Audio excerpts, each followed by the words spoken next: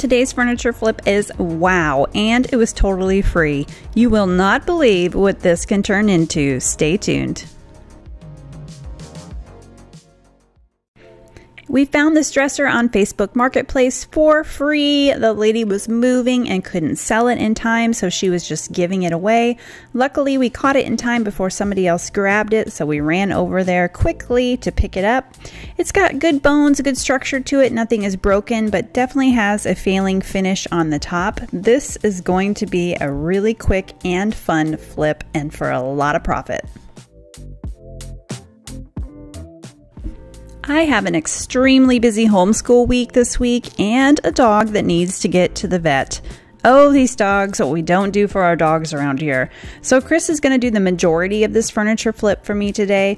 I am in desperate need to get some pieces out of my garage because it is jam packed with furniture and we got to get some sales going. So I'm so glad he's out there helping me today. He's going to get this started.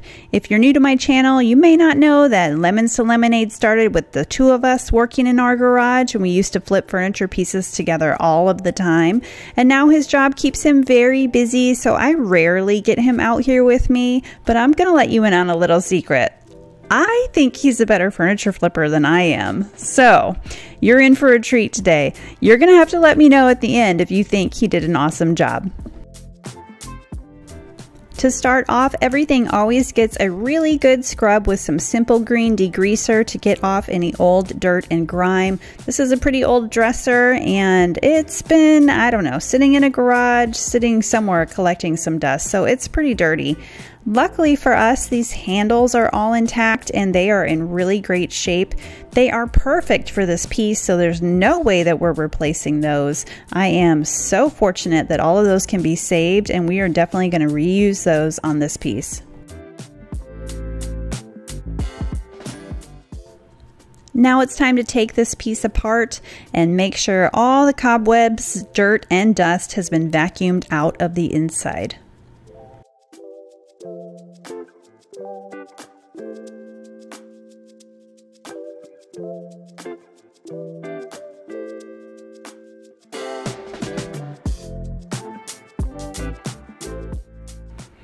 You know, I love adding a different base on all my furniture pieces, and this one was no exception. This one was so quick and easy. Just a few screws were holding this whole bottom part in place. This was very easily removed, and something new and fun can be added to the bottom.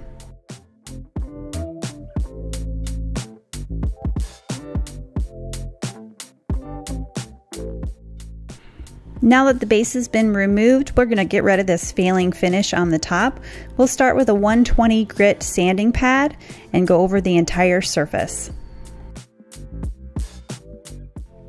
A common question I get asked on this channel is how do you know when to use a chemical stripper versus a sander?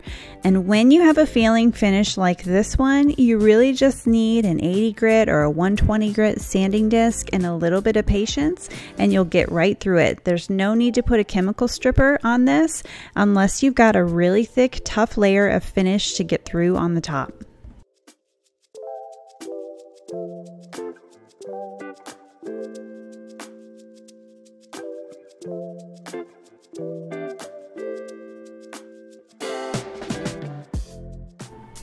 Now that the failing finish has been taken off the top, we'll do a light scuff sand all over the body of the dresser just to ensure that our paint will adhere.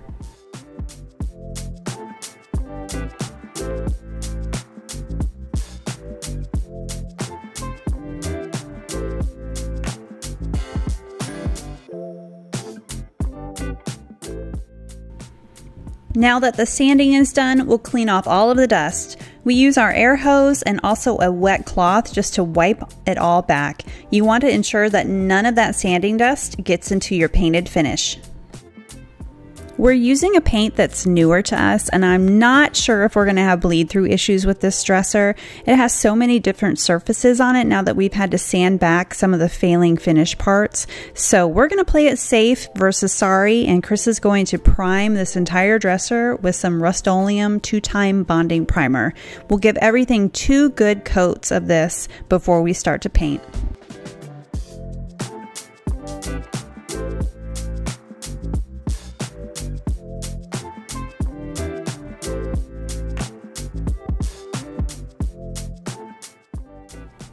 We like to use two and a half inch tape on our drawers just to ensure that we don't have any overspray on them. So he'll get those taped up before we start.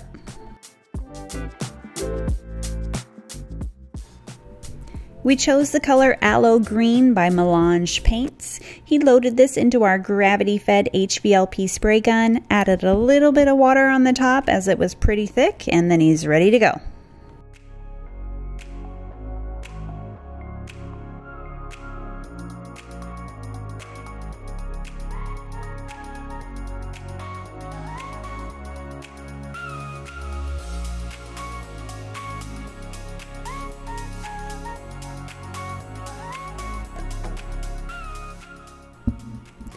These trendy sagey greeny light colors are a total hit right now in the Texas market.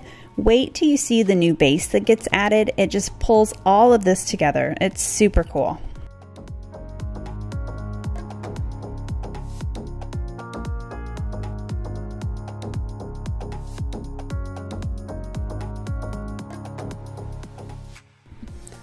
Once the body of the dresser was painted and left to dry for about two hours, then Chris went back and added in the drawers. This is just a really quick hack to make sure that there's no overspray that gets on the inside of your drawers or on the sides. This is a super simple way to paint your drawers, but you've got to make sure that the body of your dresser is completely dry first.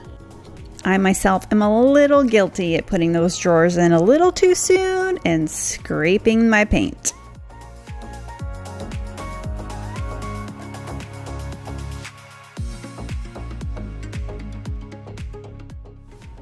This project is so easy today, you guys. I hope that this really inspires you to see that you can do a lot with the furniture pieces that you have, or maybe even something you see on Marketplace that you're interested in flipping. I mean, I think the hardest thing that we're going to do today was when you saw us remove the base. Other than that, all of this is pretty simple. For the top coat, we used Minwax polycrylic in the satin finish.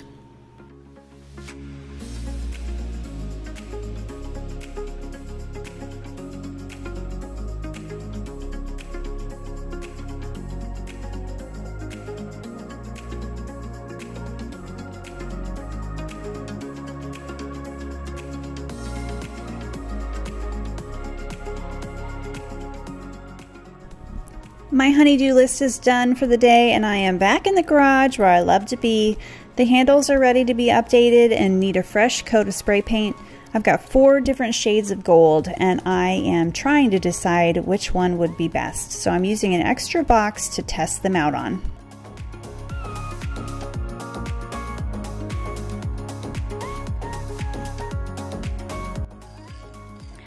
Have known by now that middle one is called Gold Leaf by Krylon. It is the one I use the most. I, I just need to go buy like two or three of these bottles because this one is the one that always ends up looking the best on the designs.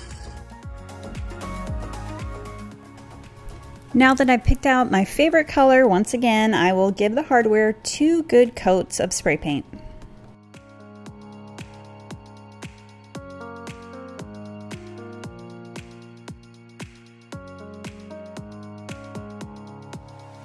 Brief intermission while I tell you about my new Patreon page. As a debt free furniture flip and influencer, I've been working hard to bring you all relevant content that interests you. And with the help of Patreon, I can continue to do that on a more in depth personal level. For those who may not know, Patreon is a platform that allows fans to support creators directly.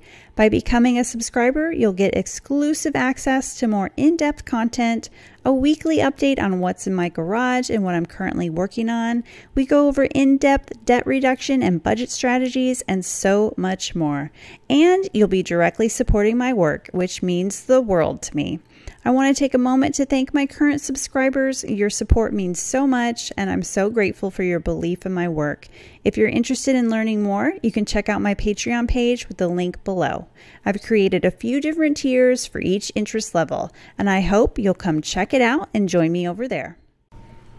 Now that the hardware is dry, I'll attach it back onto the dresser And no, we haven't forgotten about the base. Right around this time, we had a really bad snowstorm. Yep, I know, I'm in short sleeves again. It's because our weather here is crazy this time of year. So, anyways, the snowstorm delayed the base parts that we needed. So, while we're waiting on that, we're going to finish up with the handles.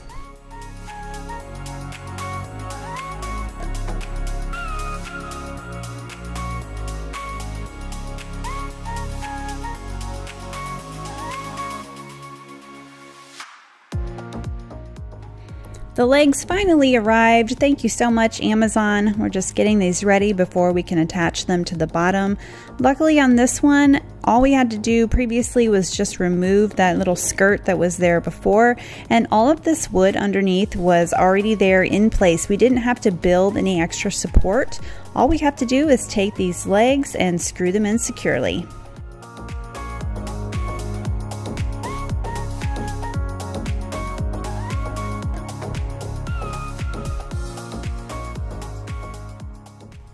One last look at our freebie dresser from Facebook Marketplace before I show you what this one turns into.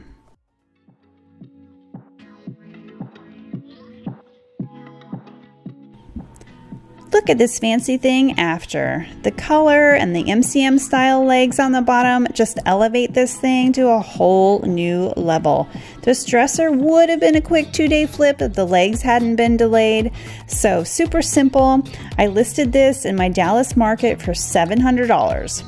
I know, I know, sometimes my sale prices sound crazy to some of you, but that is indeed the going rate around here. Thank you so much for tuning in. I always look forward to sharing our journey with you. This is indeed the way we paid off over $50,000 in debt, and we just keep on hustling. Join me next week and be sure to hit that subscribe button so you never miss a flip here at Lemons to Lemonade Furniture.